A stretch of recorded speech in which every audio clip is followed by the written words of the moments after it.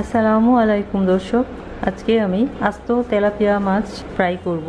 আস্ত তেলাপিয়া মাছ ফ্রাই করতে যে উপকরণগুলো লাগবে সেগুলো হচ্ছে এখানে আমি একটি আধা কেজি ওজনের তেলাপিয়া মাছ আঁশটা ফেলে দিয়ে, সাইডের কাটাগুলো ফেলে দিয়ে, মুখের সামনেটা একটু কেটে ফেলেছি এবং এদিক দিয়ে একটু কেটেছি।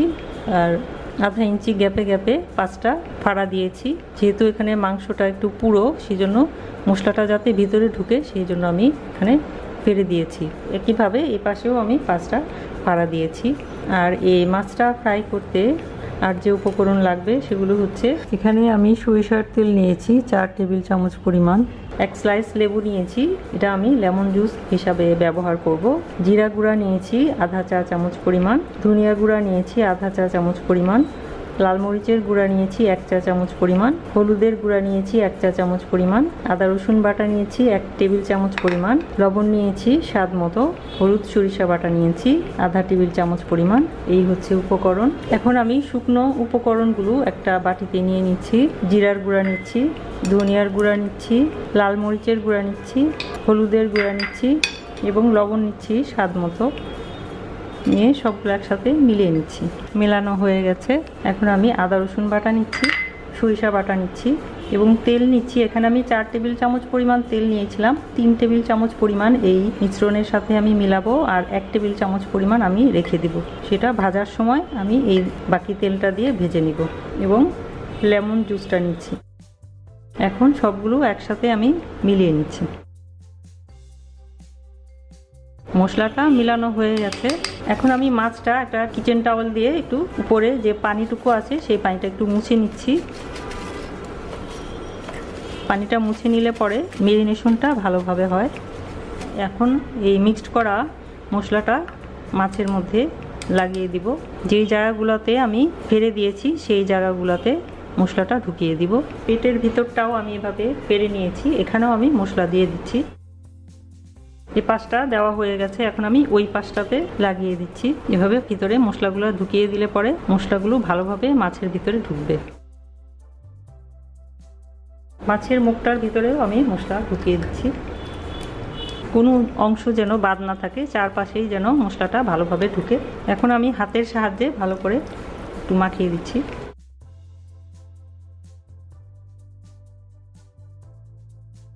মাখানো হয়ে গেছে। এখন আমি এই মাখানো মাছটাকে মেরিনেশনের জন্য রেখে দিব। কমপক্ষে দুই ঘণ্টা, চার ঘণ্টা রেখে দিলে সবচেয়ে বেশি ভালো হয়। তবে কমপক্ষে দুই ঘণ্টা অবশ্যই রাখতে হবে না হলে মশলাগুলো মাছের ভিতরে ঢুকবে না। চার ঘণ্টা যদি রাখতে হয়, তাহলে ফ্রিজের নর্মাল চেম্বারে রেখে দিতে হবে। তাহলে আমি এখন ঢাকনা দিয়ে দুই ঘণ্টা রেখে দিচ্ছি ফ্রিজের নর্মাল চেম্বারে ফিরে আসছি দুই ঘণ্টা পর। ফিরে এলাম দুই ঘণ্টা পর। মাছ থেকে পানি ছাড়া শুরু হয়েছে। মেরিনেশনের ধর্মই হচ্ছে যে মেরিনেট করে রাখলে পরে পানি ছাড়তে থাকে। পানি ছাড়তে থাকলে বোঝা যাবে যে মশলাগুলো ভিতরে ঢুকতে শুরু করেছে। এটা আমি দুই ঘণ্টা রেখেছি। এখন আমি মাছটা ভাজবো। চুলায় ফ্রাই প্যান বসিয়েছি, তেল দিয়ে দিচ্ছি। যেহেতু আমি মেরিনেশনের মধ্যেই তেল দিয়েছি, অনেক বেশি তেলের প্রয়োজন নেই। আমি এক টেবিল চামচ পরিমাণ তেল রেখেছিলাম, সেটাই দিয়ে দিচ্ছি। চুলা জ্বালিয়ে দিচ্ছি। তেলটা গরম হয়ে গেছে, তেলটা ভালোভাবে গরম করে নিতে হবে না হলে ফ্রাই প্যানের মধ্যে মাছটা লেগে যাবে। এখন আমি গরম তেলের মধ্যে মাছটা ছেড়ে দিচ্ছি।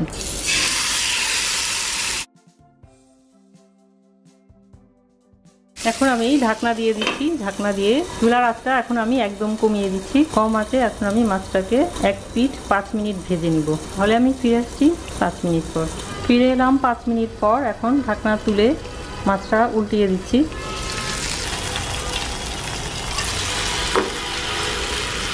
মাছটার এক পিঠ হয়ে গেছে, এখন আমি মাছটা উল্টিয়ে ঢাকনা দিয়ে ওই পিঠটাও আবার পাঁচ মিনিট ভাজবো, তাহলে আমি আবার ফিরে আসছি পাঁচ মিনিট পর। ফিরে এলাম আবার পাঁচ মিনিট পর, এখন আমি রয়ে যাওয়া মশলাগুলো একটু একটু করে মাছটার গায়ে লাগিয়ে দিচ্ছি। এখন আমি আবার মাছটা উল্টিয়ে দিচ্ছি, এখন এই পাশটাতেও আমি রয়ে যাওয়া মশলাগুলো লাগিয়ে দিচ্ছি। ফ্রাই প্যানের সাইডে গরম তেলগুলো উপরে উঠিয়ে দিচ্ছি, তাহলে মাছের যে সাইডগুলোতে ভালোভাবে ভাজা হয় নাই, সেগুলোও ভাজা হয়ে যাবে। এখন আর আমি ঢাকনা দিব না, এভাবেই কিছুক্ষণ এপাশ ওপাশ একেবারে ব্রাউন করে ভেজে নিব। আস্ত তেলাপিয়া মাছ ভাজা হয়ে গেছে। এখন আমি চুলাটা বন্ধ করে দিচ্ছি।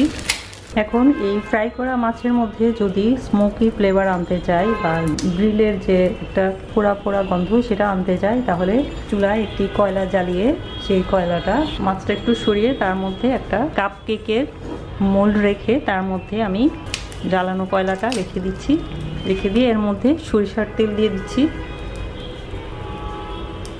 ঢাকনা দিয়ে দিচ্ছি। ঢাকনা দিয়ে আমি পাঁচ থেকে সাত মিনিট রেখে দিচ্ছি। রেখে দিয়ে তারপরে আমি ঢাকনাটা তুলে নিব। তাহলে গ্রিলের স্মোকি ফ্লেভারটা চলে আসবে। ঢাকনার যে ছিদ্রটা, সেই ছিদ্রটা আমি টিস্যু পেপার দিয়ে বন্ধ করে দিচ্ছি। তাহলে আর ধোঁয়াটা বের হতে পারবে না। তাহলে আমি ফিরে আসছি পাঁচ থেকে সাত মিনিট পর। ফিরে এলাম পাঁচ মিনিট পর, ঢাকনা তুলে ফেলছি। এখনও ধোঁয়া আছে। এখন আমি কয়লার পাত্রটাও তুলে নিচ্ছি।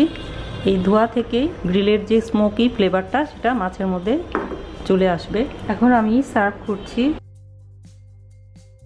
তৈরি হয়ে গেল অত্যন্ত স্বাদের আস্ত তেলাপিয়া মাছ ভাজা বা গ্রিল তেলাপিয়া। এভাবে করে তেলাপিয়া মাছ ভেজে খেতে অনেক মজা। আপনারা অবশ্যই বাসায় এভাবে তৈরি করে খেয়ে দেখবেন বেশ মজা লাগে এবং খাবার টেবিলে গেস্টকেও এভাবে মাছ ভেজে পরিবেশন করতে পারেন। আশা করি আমার এই ভিডিওটি আপনাদের কাছে ভালো লেগেছে। ভালো লাগলে অবশ্যই লাইক দেবেন, শেয়ার করবেন এবং আমার চ্যানেলকে অবশ্যই সাবস্ক্রাইব করতে ভুলবেন না এবং সাবস্ক্রাইব করে বেল বাটনে ক্লিক করবেন। সবাই অনেক অনেক ভালো থাকবেন, সুন্দর থাকবেন সুস্থ থাকবেন। এই কামনা করে আজকে এখানেই বিদায় নিচ্ছি। খোদা হাফেজ।